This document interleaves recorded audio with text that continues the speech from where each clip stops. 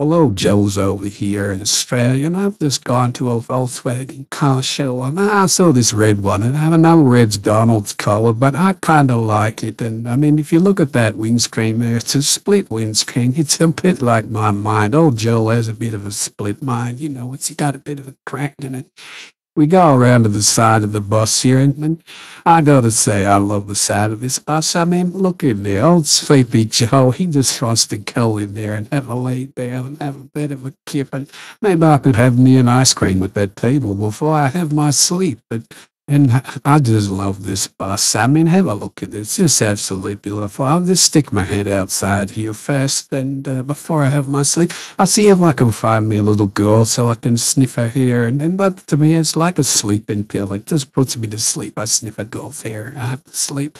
Oh, look up the top there. We got some roof racks up the top there and a ladder to climb up.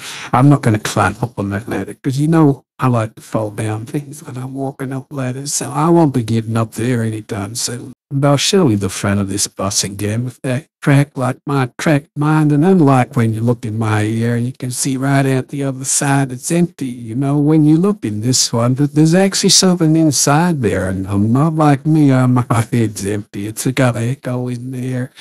And this is just glorious. We'll give you one last look at this bus, and then old Sleepy Joe's going to have a snooze in it. Bye.